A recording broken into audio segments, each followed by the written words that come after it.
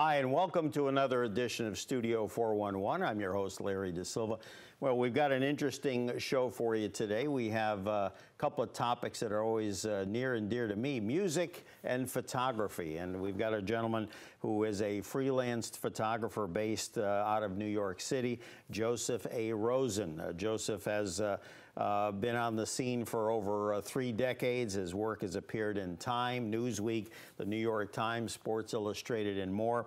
In addition to regular corporate and commercial work, his music uh, clients are among the greatest names in blues, jazz, R&B, uh, soul, rock, Cajun, Zydeco, you name it, as well as record company, management groups, and music publications.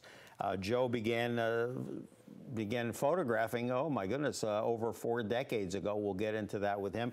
He's got a brand new book called uh, Blues Hands. And uh, we welcome to Studio 411 uh, Joseph A. Rosen. Joe, how are you? I'm fine, uh, and thank you for having me. It's a pleasure to be here. Now, tell me, um, uh, as I said, you've been you've been in the business for uh, uh, over four decades. I'm sure in some ways it seems like it was only yesterday. Uh, uh, let's talk a little bit about, uh, first of all, how you got into this line of work. Well, I, my dad always had a great camera, and I always loved work. You know, was kind of fascinated by it. Then in high school, I did the high school yearbook, and I took pictures for the high school newspaper. And then when I got into college, I got into a program built around photography although uh, I was in a humanities school, I did uh, a lot of volunteer photography and studied with uh, design professors and fine art professors at Carnegie, where I went to school. And I was freelancing uh, small jobs before I graduated. And uh, I'm, I'm a lot older than that now, so I've had a, a long run at it and I've never done anything but photography for a living, and I still have fun. And, that's the key right there, and, and still having fun after all these years. Uh, the book, by the way, Blues Hands, uh, Joseph A. Rosen, author, photographer, uh, published by Schiffer Publications. For more information, josepharosen.com. Um, now, in the middle of all this hectic schedule that you're always under undertaking, I know you just got back from uh, from a, a, photography cruise, and we'll talk a little bit more about that later. Um, tell me what uh, what was the inspiration to, to, to take a few photos, about a hundred, uh, give or take a few, and and put it into this uh, into this book. Uh, well, I first of all, I'm a fan of blues music, and uh, I also happen to be a professional photographer. And when I started, it was just um, casual, and um, I would. I started in, with my blues photography in 1976. I made a pilgrimage from Pittsburgh, where I was living, to Washington D.C. to see Muddy Waters, both shows, both nights, and quietly and politely, I shot with a, a Leica, and in those days it was much more casual. You didn't need a credential. Um, you know, you could if you were polite and respectful, uh, everybody was fine with it. So I started in '76 with that, and I've not stopped. I've kept shooting blues um, continuously since then.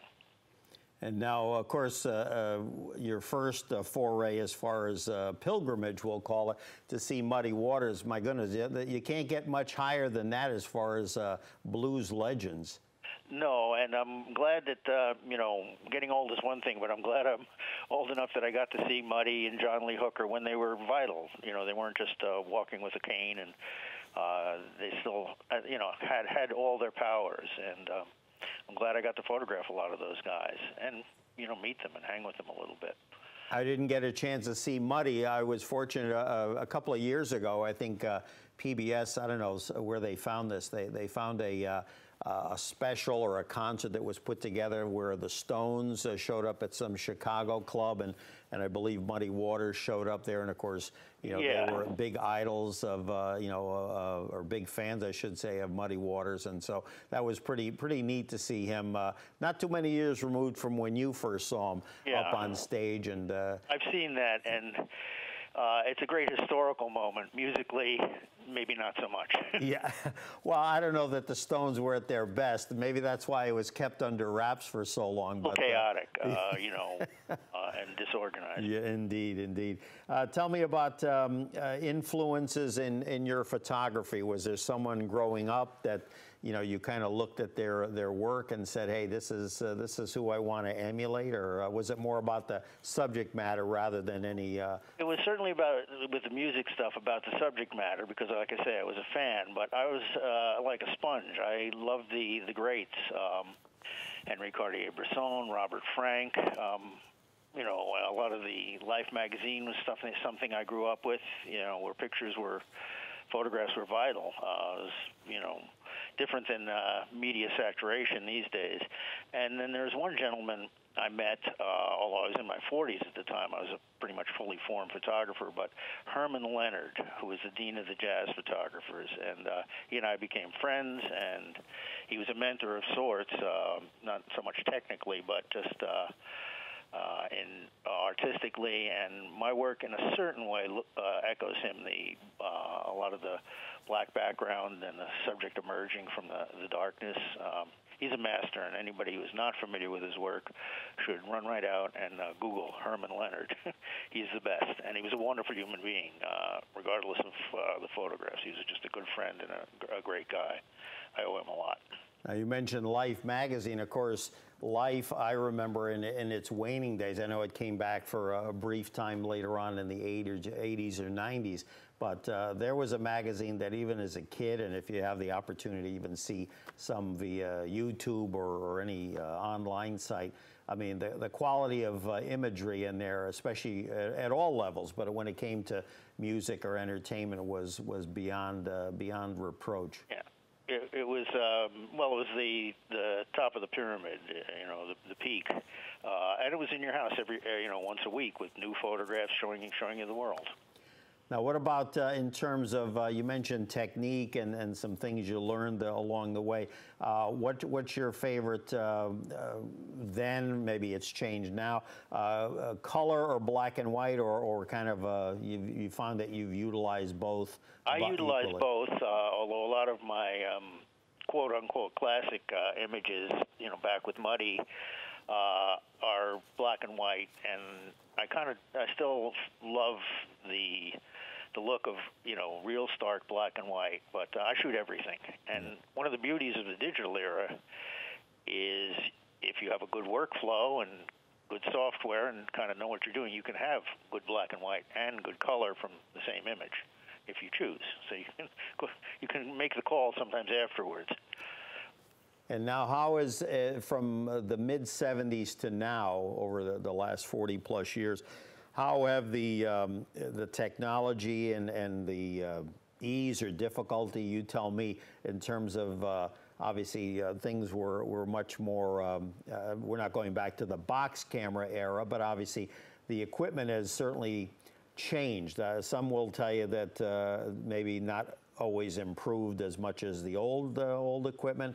What's your take on it? I have half a career in the film world and the wet dark room, and half a career in the digital world. Um, I just view them as different forms of capture.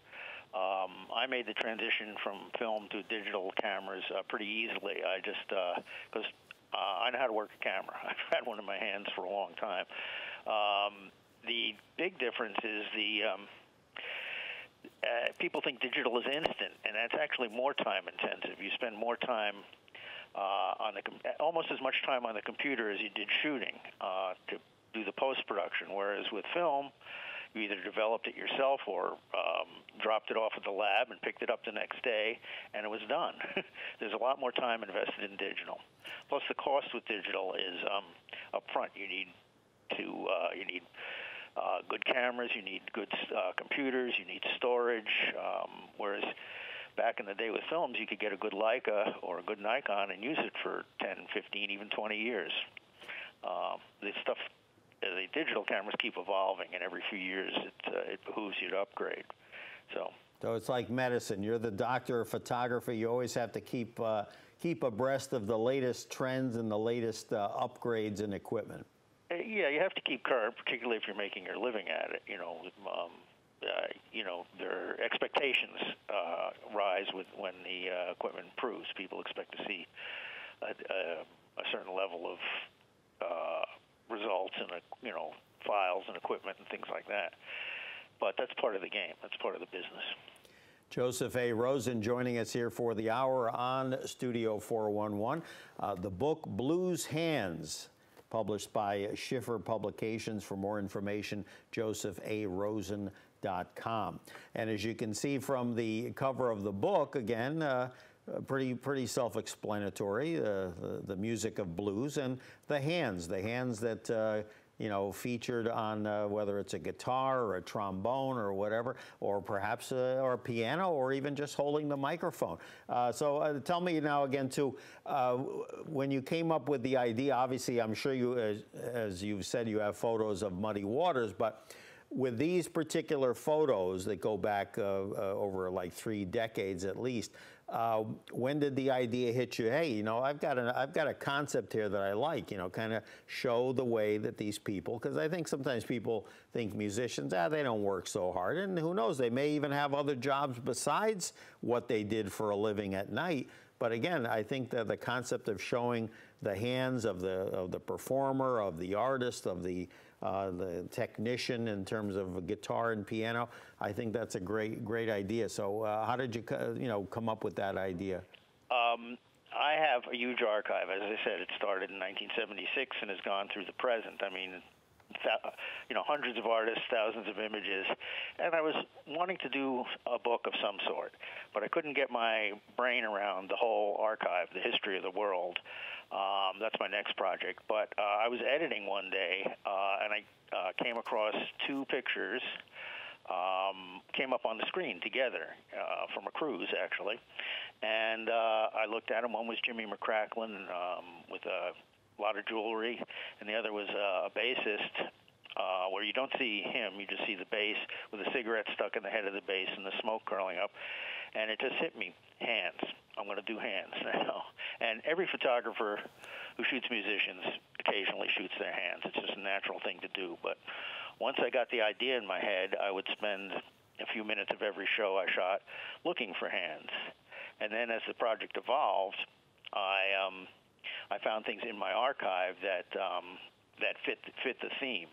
The oldest picture in the book uh, is from 1982 and is of Eubie Blake, the uh, ragtime pianist and composer um, he was well into his 90s uh, at that time, and I just, uh, you know, I'd taken a picture of his hand, and it looks like a bird or some, something, but. Um, you know, uh, I found things that uh, carried the theme. And I, ha- I should mention, and people will see when they look at the book and maybe see some of the images, that it's not just close ups of hands. It involves gesture, uh, can be hands wrapped around somebody uh, giving a hug, um, you know, hands waving in the air while musicians perform. Uh, so it's it's more than just close-ups of hands. Uh, it's just the hands are a theme or a thread that run through it, the whole book. Uh, we're showing that picture of uh, Eubie Blake, and uh, of course, I remember Eubie because uh, when that whole thing in the early to mid 70s with the uh, Entertainer, big hit record that Marvin Hamlisch uh, did, and of course it, it showcased, uh, I believe, Eubie playing on the piano, if I'm not mistaken. It was from a movie called The Sting, and then that whole genre of music kind of had a resurgence. And then here's Eubie, uh, at that point, my God, he had to be at least in his 80s, if not older. And then you look at his fingers, and I'm reminded, I never mastered the piano, never tried to, to be honest with you. But you look at his hands, and they always said the longer your fingers, the better you are at a piano player. And I'm telling you, this looks like uh, the fingers look like something out of Nosferatu. I mean, they are just like incredibly long fingers. Mm, yeah. Um, no, he was he was in a wheelchair, but he was smart and funny and salty, you know, cracking wise. Um, it was at a press conference for the uh, video disc for a, a Broadway musical called Eubie that was coming out. And of course, video discs went away, and so did he. there you go. Now, tell me musical influences in your life, and I, I think I have a scoop that um, one of them uh, you spent quite a few hours uh, in your youth uh, listening to uh, a certain uh, jazz uh, jazz legend, Billie Holiday.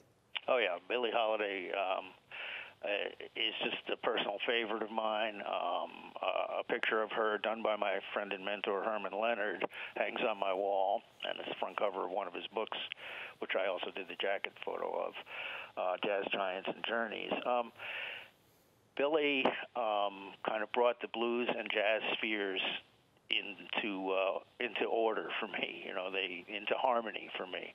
Uh, and when I first discovered her music, I mean, I'd heard it and it was kind of a little aware, but I first got into it deeply. Um, she refused to leave my turntable for about six months. I Just listened to everything I could find. Now you know the story of uh, Billy Crystal, which I always found this amazing. I don't, again, I don't know how it came about, but apparently in his youth, maybe from the age of six to twelve, something in there, that she uh, must have known his his parents later in her life, and she actually ba babysat Billy Crystal. I mean, can you imagine that having uh, Billie Holiday as your babysitter? Yep, no. Um, his dad, I think it was a Commodore label, but had a, a New York-based jazz label that recorded uh, Billie and many other people. So yeah, they were all part of the scene. We're looking at a couple of shots here uh, on the monitor. Of course, the one on the left is uh, the one that's featured on the uh, book cover, a gentleman by the name of Willie King. Uh, tell us, uh, educate us, because again, a lot of these folks, some are with us, some may not, but again, they, they tend to be a little bit more obscure to some of the uh, folks out there, not as well known as B.B. King and, and many others. But tell us a little bit about Willie King and any experiences you had with him. Well, uh, Willie was an interesting guy. In addition to being a musician and a, a juke joint operator in Alabama, he was also a union organizer and a, a community activist.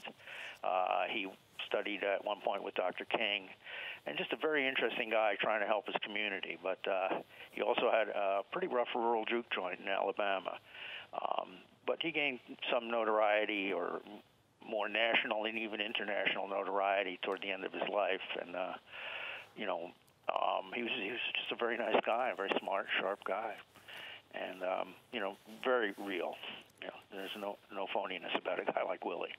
We've got a photo uh, uh, that uh, I wanted to talk about. I thought it was a great shot. Uh, a photo of, let's see, th uh, three of you. Uh, you as a young man on the left, a, a phenomenal uh, blues uh, performer, Albert Collins in the middle. And uh, tell us not only about that shot, but also the, uh, the gentleman on the right.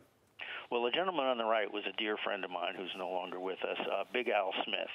And he and I were the uh, two blues DJs on a radio station, WYEP in Pittsburgh, which at the time was a pretty small kind of community oriented radio station. Now it's much more established, uh, NPR, and uh, but it was in a run in a basement below a garage in uh, the Oakland neighborhood of Pittsburgh.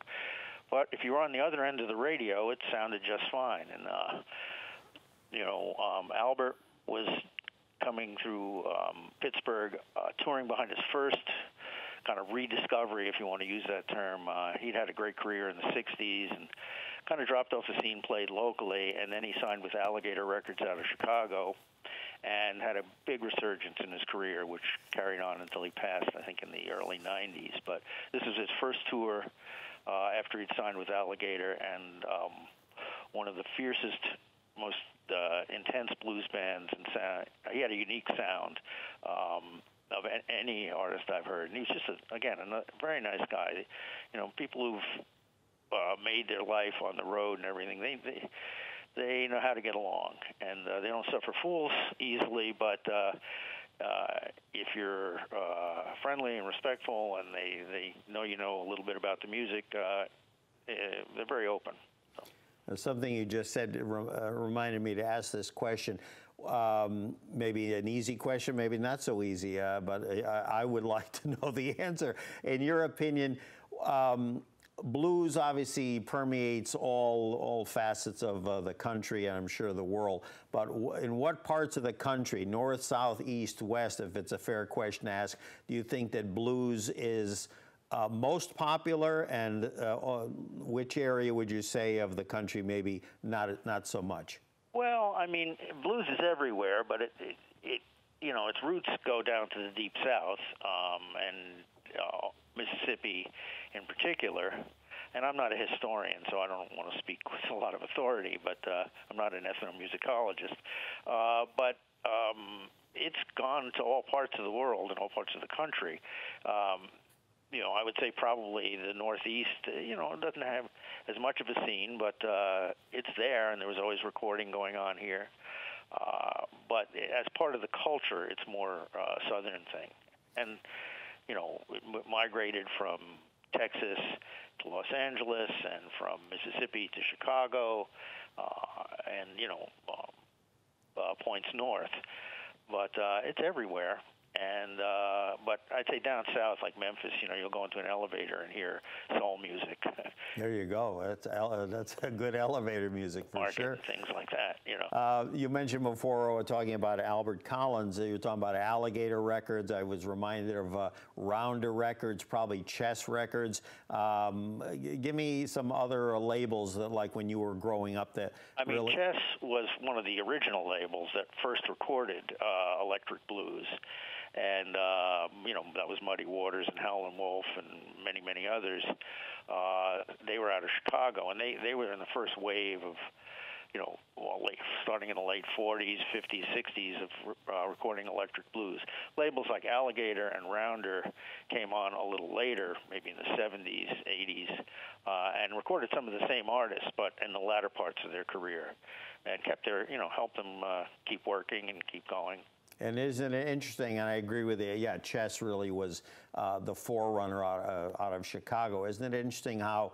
Um, and I saw this even in a movie. Uh, it was a movie uh, based on the life of John Lennon, and how records, uh, whether it was soul, R and B, but even blues, you know, somehow found its way uh, across the ocean to you know the United Kingdom, England, in this case. And again, you know, Muddy Waters and uh, Howlin' Wolf and Screamin' Jay Hawkins. I mean, some obviously bordering a little bit more on what became rock and roll, but obviously these records are what you know bands like uh, Eric Burdon and the Animals, the Rolling Stones, the Beatles. This is what influenced that that whole generation over there in uh, in Britain.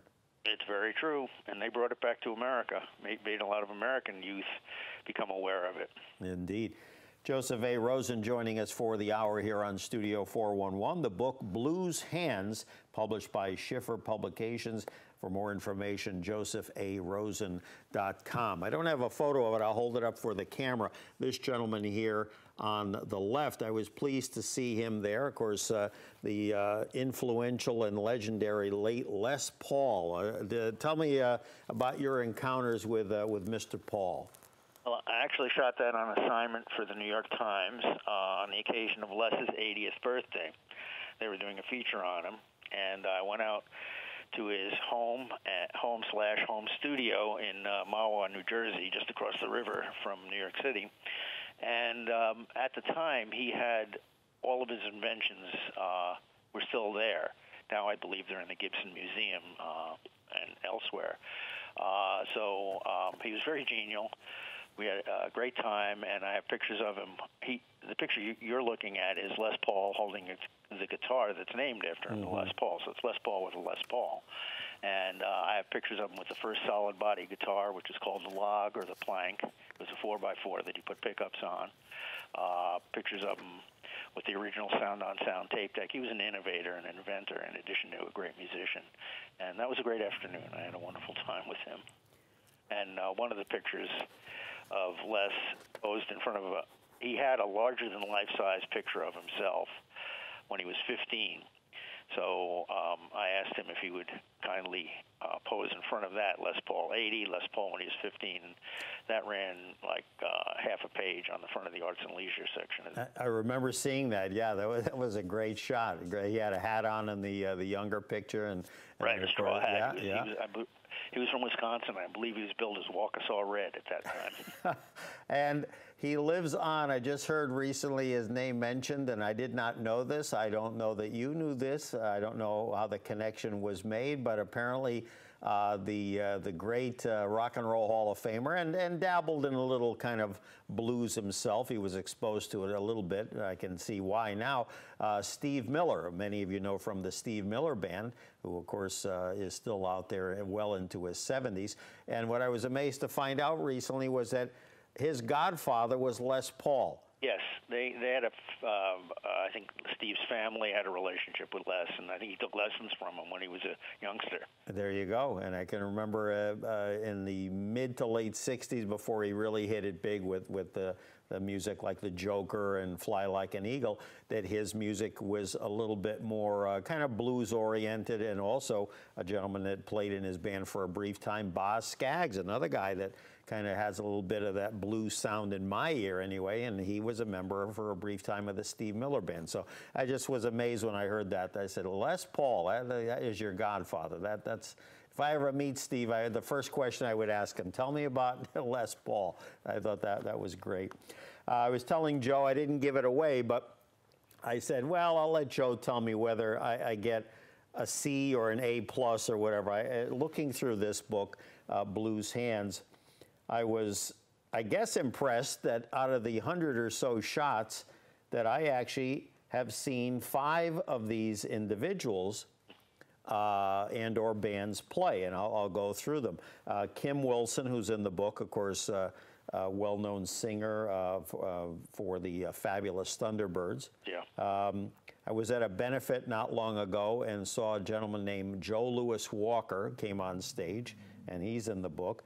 Um, a guy that uh, a guy that was um, the opening act uh, in 2019 when I saw the Rolling Stones for the first time. Guy named uh, Gary Clark Jr., very uh, talented young man. Um, God, this one goes back to like 1977. Uh, went to a Peter Frampton concert. Uh, there were three bands. The first band, who was it? The Elvin Bishop Band. And Elvin Bishop's in this book, Rock and Roll Hall of Famer from his days with the uh, Paul Butterfield Blues Band. Back on Studio 411 with our guest Joseph A. Rosen, the book Blues Hands, published by Schiffer Publishing. And for more information, www.josepharosen.com. We've got a photograph here to my left. Uh, at first, I thought, well, maybe it's like Ray Charles or somebody. Uh, I see the keyboard, the black and white ivories, and I see this pair of hands. I thought at first it was two different individuals, but I guess it's the same person, maybe with their hands uh, crossed. Uh, turned out it's a photo you took of uh, uh Zydeco legend, Cajun legend Buckwheat Zydeco. yes, um, um, Buckwheat uh, Stanley Dural Jr., uh, Buck, aka Buckwheat Zydeco, was a good friend of mine. Um, he was a Creole musician. He he always wanted to make that very clear. Uh, Cajun was a little different thing. He's from a different culture. Uh, but he's playing organ there, and his hands are crossed over left to right. And he told me uh, when organ players do that, that's called going cross country.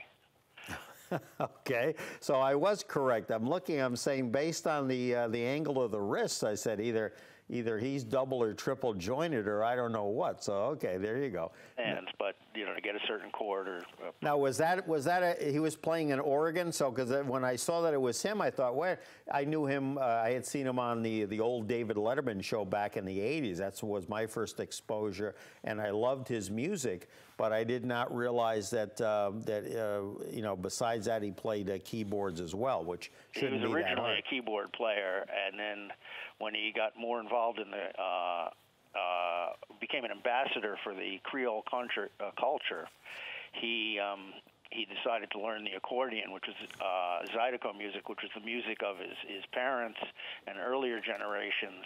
And he um, he saw Bob Marley when he was working as a keyboardist for Clifton Chenier, and he realized that he wanted to bring out that uh, bring that culture further forward. So he went and probably took off took off for about a year and learned the accordion. But his his first history was as a keyboardist, um, and then he you know he took off from there. He's the first Zydeco artist to uh, sign to a major label, Island Records. Oh, so again, Island, of course, another label that, that got into it as well. Very good. Um, Joe has received the uh, prestigious Keeping the Blues Alive in Photography and Artwork back in 2002 uh, presented by the Blues Foundation to an artist who has created a body of work that has brought the blues to the public and made a significant contribution to the blues world. And am I correct? A few years ago, did you not get elected into the, uh, uh, was it called the New York City Blues Hall of Fame? Yes, that was. Uh, uh it's a organization that honors uh, uh, folks in different region, regions. There's the Blues Hall of Fame uh, sponsored by the Blues Foundation in Memphis, which uh, is more historical and has a panel of scholars and experts that uh, honors people. And then this uh, other organization, the Hall of Fame, I believe they're based in California, gives out um, uh, uh, recognition to more regional artists and local artists and people who are in the trenches and making the scene happen. But yes, uh, four or five years ago, uh, guy named Michael Packer, who represented them, uh, put me up for that. It was Very an honor. nice. We got off track here when I was showing the uh, photo from the book of Willie King. Uh, to the right of it um, is a uh, trombone player, a gentleman named Willie Trombone Shorty. Tell me a little bit about Mr. Uh, Mr. Trombone Shorty. Okay, Trombone Shorty got the nickname because he started out as a, a child prodigy, five and six years old. Uh, he's now very successful, uh, travels the world uh, with his band Trombone Shorty uh, and Orleans Avenue. They're out of New Orleans and play a mix of traditional and more modern stuff. They're very popular in the jam band world. And part of what the book is about, or the pictures in the book, are how there's two per one per page facing each other. Um, the juxtaposition of the two photos and how they play off each other. So, the first photo is Willie King playing a very worn guitar. Uh, you know, kind of. Um, you know, you can tell it's it's it's been been around for a long time and worn down, and his hands are rough. And the second picture is uh, trombone shorty, a young man uh, with a shiny instrument. So it's old and worn, young and shiny, playing off of each other, and um, that's kind of the idea, the juxtaposition.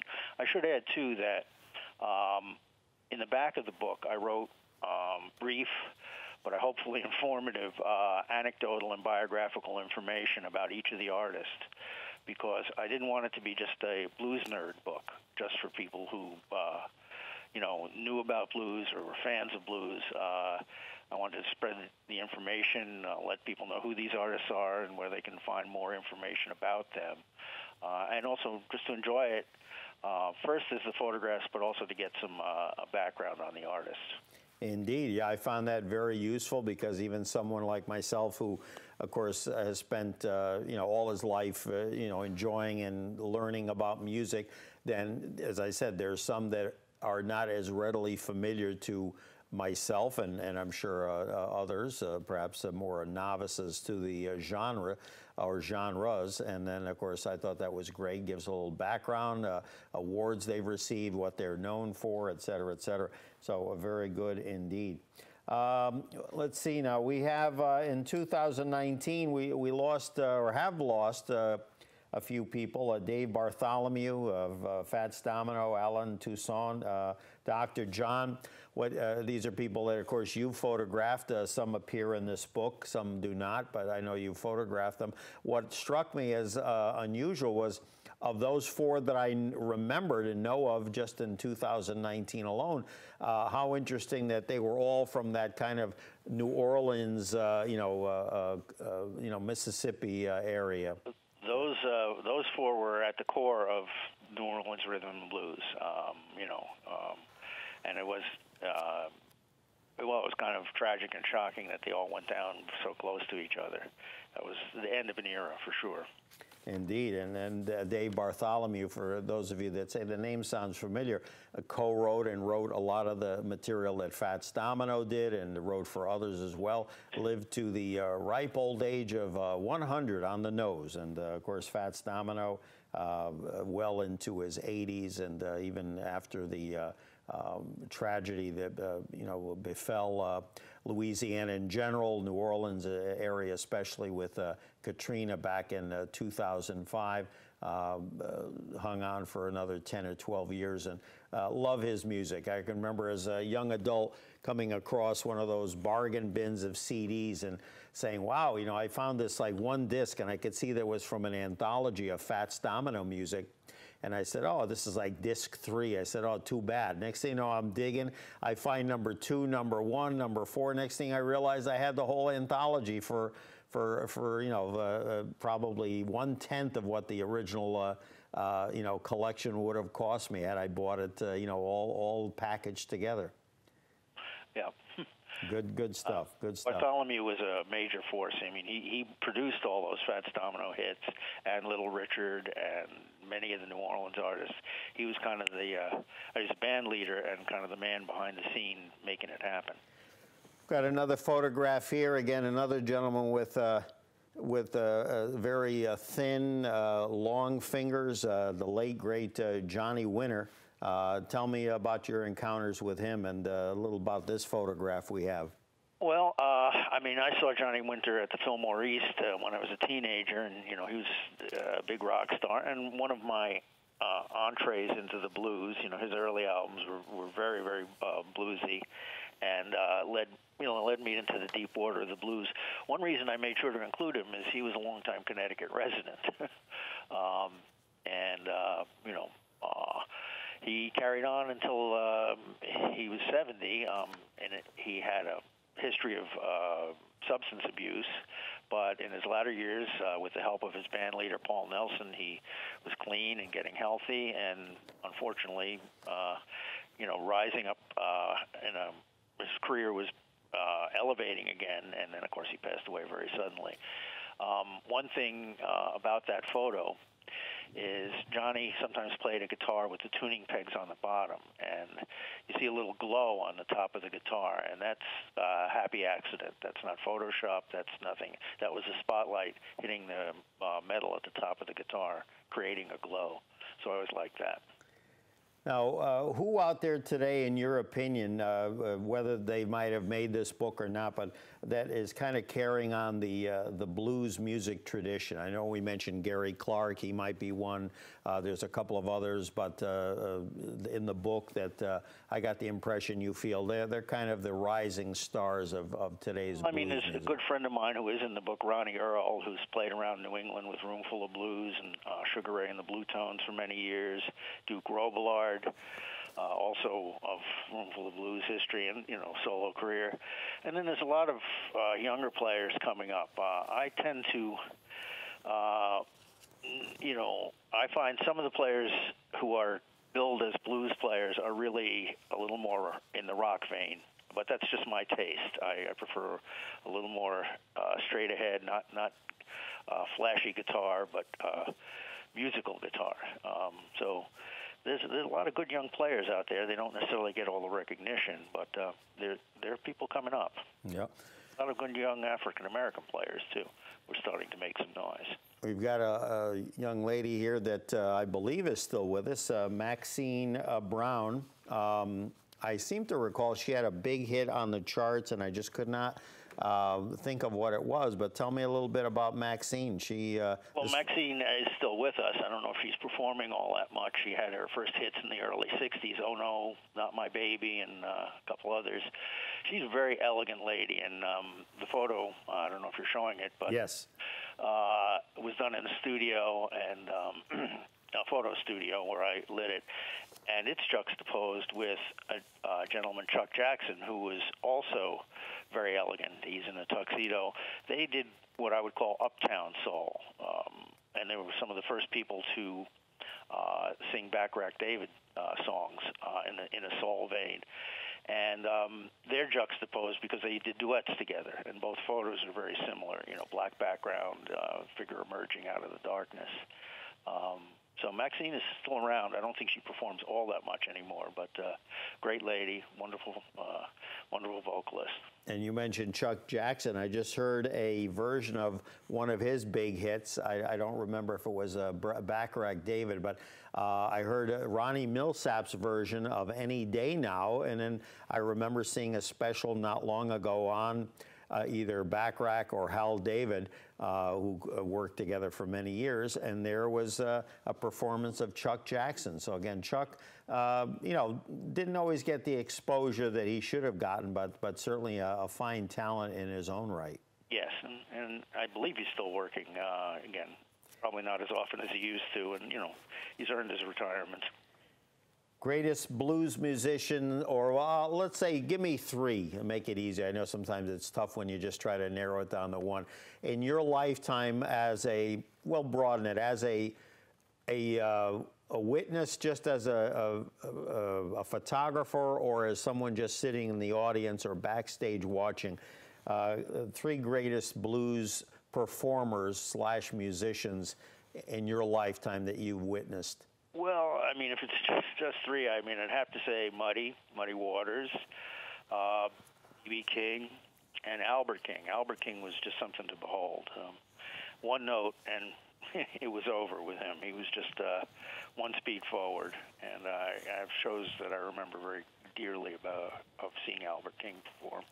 And we were talking earlier about uh, Elvin Bishop. Now, obviously, I was I was impressed with him as a guitarist. Again, uh, what did you think? Or he's still very much uh, around with us today. But what did you think of him when you first saw him perform? Well, I first saw him perform with the Butterfield Band, not not the very original band, but a somewhat later incarnation after Mike Bloomfield left them. But I saw them many times.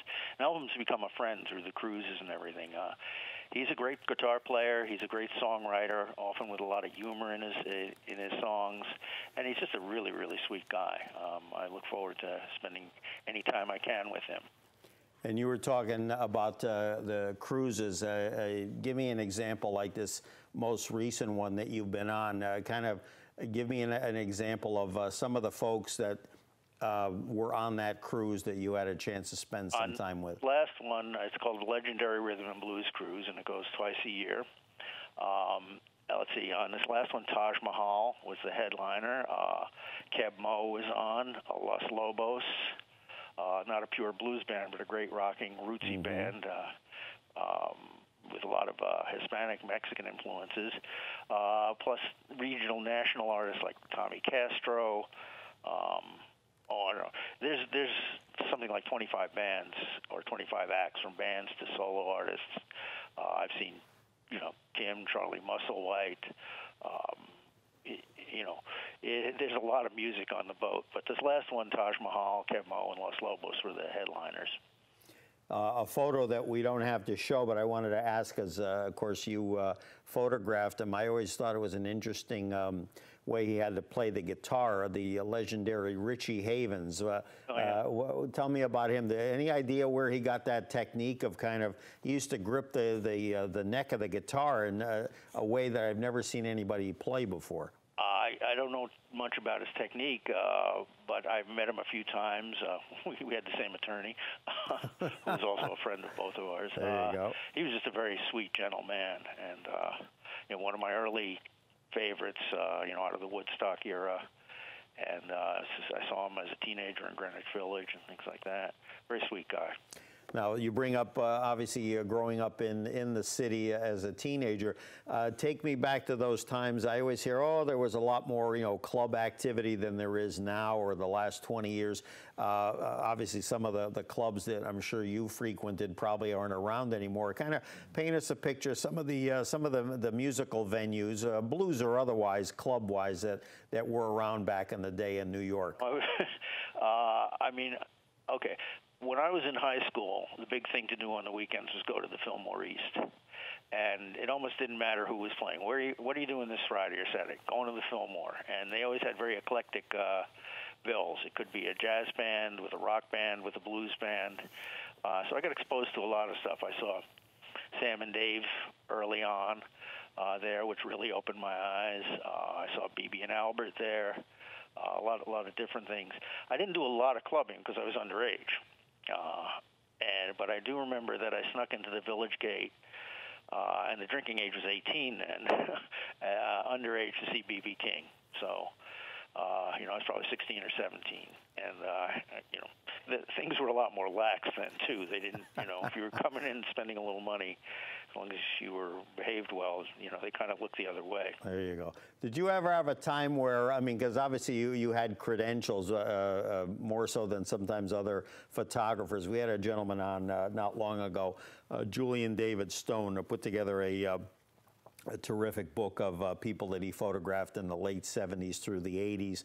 Later became a, a filmmaker, but still has a, a, love and has a tremendous, again, old school camera archive of, of, people that were performers in the 70s and 80s, especially from the, the rock uh, genre. But um, he told some great stories about sometimes having to smuggle equipment in. Was that ever a case where you were denied entry or denied the uh, no, no photographs, and then you said, well, um, well, basically, you know. Um, basically, like I said earlier, uh, a lot of times if you were polite and you know, I mean, I used in a lot of the clubs I used very quiet cameras back in the film days. They were Leicas, which make virtually no noise, and you're respectful. It wasn't a big deal. Um, you know, if a club has a policy of no photos, that's their policy. I don't try and sneak around. Plus, you'll get caught.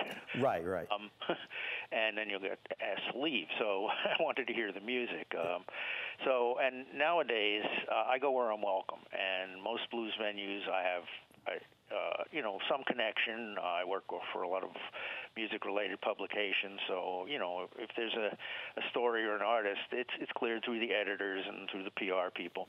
You do need to get, you know, at festivals and um, other venues. Uh, it's not as casual as it used to be. You have to be cleared. Although you can still take a camera into a club, and if you're polite um, and unobtrusive, uh, it works. Yeah, indeed. Got a photo here of a gentleman. I, uh, to me, th this photo, um, I love the Willie King one, but this one here, to me, could almost have been as much as a cover, except he's not necessarily playing a guitar that I can see. You got a, a picture of a friend, a good friend of yours, uh, Frank Scrap Iron Robinson. Just love the the hands and of course the jewelry there. I just think, man, you, can't get many more rings on that finger. Yeah, that's in the bling section of the book because a lot of the artists. Uh, you know, do wear a lot of jewelry, uh, at least on stage. You know, it's part of part of the persona. Uh, Frank is a good friend. Uh, he was on he MCs shows on the uh, the legendary Rhythm and Blues cruise, and he was road manager for um, a great blues artist, Little Milton Campbell, for over 30 years, and um, that meant uh, watching the door, watching the money, watching Milton's back, and um, Frank's got some good stories to tell, and he's a, he's a, a good friend and a really sweet guy. Um, and I just uh, I was uh, doing hands at that point. I was conscious of shooting hands, and I said, "Hey, Scrap, hold it. Let me see your rings." And held up his hands and two frames, and bang bang. Here in the remaining moments on Studio 411 with our guest, Joseph A. Rosen, a photographer and author of Blues Hands. It's such a good book that, that I keep uh, seeing images that aren't even in the book, but That's how good a book it is, I got to tell you. Published by Schiffer Publications uh, for more information and, and maybe more photos that, that I have imagined that I saw. JosephARosen.com. All righty. Oh, my goodness. Um, let's see. Uh, there, there's a young lady you feature in the book, um, Samantha Fish. Again, another example of kind of a uh, up and coming uh, blues uh, performer and uh, within the last two decades. Yes, I mean Samantha made a big splash in the last uh, five or six years. Uh, I photographed her uh, early, very early in her career when she was about 20. Um, I've done magazine covers of her. Uh, smart, talented young lady. She plays, um, you know, kind of a rock and blues, but uh, I've kind of watched her career evolve, and she's doing very well for herself uh, these days, and uh, she deserves it. She works hard, and she has the talent, and she's also very beautiful. Now, as we spoke earlier, obviously the, the book uh, tries to has the the uh, theme of hands, as you said, whether it's in hugging or uh, or performing or clutching the microphone or the keyboard or the uh, the um, uh, trombone, et cetera, et cetera. Um, are there photographs that, again, I'm sure the answer is going to be yes, that you wished you could have used? Like, give me like one or two people uh, besides Muddy where you said, you know, it's too bad I didn't have like a tighter shot of their hand to feature in this book. Yeah. Um, well, I tried to, you know, um, there's a couple like for instance i got Allen Toussaint is in the book but like six months after it came out i got what i consider um, i mean i love the picture in the book but i got one that was just uh, a real uh, a home run. Uh, so you know, I wish I'd gotten the second picture of Allen in the book, not the not the first one. Um, I, there's a lot of people I would like to have gotten in the book, but I went with the best hands pictures. Uh, I'll also mention that uh, all the pictures are uh, straight out of the camera. They're full frame, uncropped, except for three: Eubie Blake, Ronnie Earl, and Shemekia Copeland, uh, and they're just squared off a little bit from the usual uh, rectangular format. Uh, so uh, I didn't go in and crop hands out uh, of a, a, particular frame. I, I either had a photo that uh, filled the bill, or I uh, I created some with, uh, but in the camera, basically. Now, during your long uh, photogra- photographic career, are, is there any one or two artists that stand out that you were never able to either get permission to take a photo of, or just were very much kind of against, you know, having their photograph taken? Uh, well, again, um, uh, I, I go pretty much these days where I'm welcome, and I'm, you know, I have pretty good entree through my long, you know, connections and career. I saw Howlin' Wolf, uh, who was one of my favorite blues artists from the Chess label, but it was toward the end of his life, and I never got to. I only saw him once, and I wasn't actively photographing blues artists at that point. I would have loved to have seen him and photographed him in his prime, but. Uh, you know, there's a lot of people who were gone before I got into it. So Indeed. We've got a quote, I think, that uh, sums it up best from a gentleman named Dick Waterman. He's a photographer, author, also a fellow member of the Blues Foundation Hall of Fame. Uh, has managed uh, several performers, uh, John Hurt, Buddy Guy, Bonnie Raitt, other blues artists. Uh, quote, Joe Rosen knows how to set up a photograph and then close the deal at just the right instant. Neither of these qualities can be bought or downloaded. It takes experience, true, but primarily it is an innate creativity to see the unseen, to move beyond the obvious, and to bring forth an image that is brilliant today and timeless for the memory. That's a quote from your friend uh, Dick Waterman. I think uh, speaks volumes of not only this book, but the, uh, the fine work that you do. Well, thank you. Dick is a good friend, um, and he was very kind to me. I should mention that Dick is in the Hall of Fame from the Blues Foundation of Memphis, Tennessee, while I was given from the other Hall of Fame a regional award. Just, just to be clear on that. Uh, you know, if I live long enough, um, who knows? Maybe I'll get into both. The book Blues Hands, uh, photographer, author Joseph A. Rosen, published by uh, Schiffer Publications, uh, www.josepharosen.com. Uh, Joe, uh, uh, tell me, uh, what happens if I go to that site? What can I get? Uh, well, I mean, uh, there's a store page where you can order the book, uh, and they, all books off of my website are signed, and there's a prompt if you want an inscription made out to, you know, mom or, you know, your husband or something. Uh, you know, there's uh, a, pl- a prompt for all of that, and um, you know, they go out by media mail and take a few days to be delivered, but. Uh, I, I, I do the fulfillment myself, and it's also available through uh, Amazon and all major booksellers. Those copies are not signed, though. Very good, very good. We thank you for joining us. We're going to leave with a shot uh, of uh, that's in the book as uh, as you will see it in the book. A great shot of a couple of other uh, rock and roll Hall of Famers, R&B, soul, you name it, they've done it all. Al Green and James Brown. Uh, we'll uh, put that photo up, and we thank you for joining us here on Studio Thank you, Larry, for having me. Thank you, and uh, hang in there with us. And we thank you, uh, folks out there, for joining us as well here on Studio 411. Larry De Silva's my name. We look forward to seeing you again next time. Take care.